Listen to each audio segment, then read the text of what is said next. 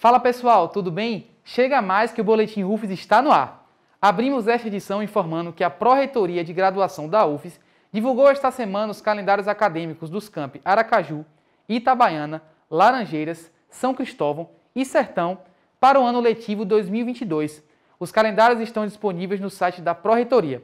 Para acessar, basta conferir o endereço disponível na descrição deste vídeo. E entre os dias 2 e 5 de maio ocorreram no Campo São Cristóvão o 7 Congresso Internacional de Estudos Jurídicos e o segundo encontro da Rede de Direitos Humanos e Transnacionalidade. Os eventos realizados pelo Programa de Pós-Graduação em Direito discutiram temas voltados à proteção dos direitos humanos. E como todos nós sabemos, vacina boa é vacina no braço, não é mesmo? Pois é, o Ministério da Saúde iniciou no dia 2 deste mês a segunda etapa da campanha nacional de vacinação contra sarampo e influenza, que vai até o dia 3 de junho. Além de idosos e trabalhadores da saúde, crianças com idade entre 6 meses e 5 anos também podem ser imunizadas.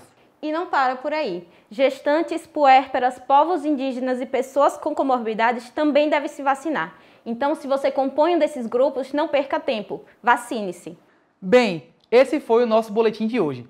Para mais detalhes sobre os assuntos tratados, confira nossos links na descrição do vídeo e continue nos acompanhando aqui nas redes sociais. Ficamos por aqui e até a próxima semana. É a TV UFES levando informação para mais perto de você. Tchau, tchau!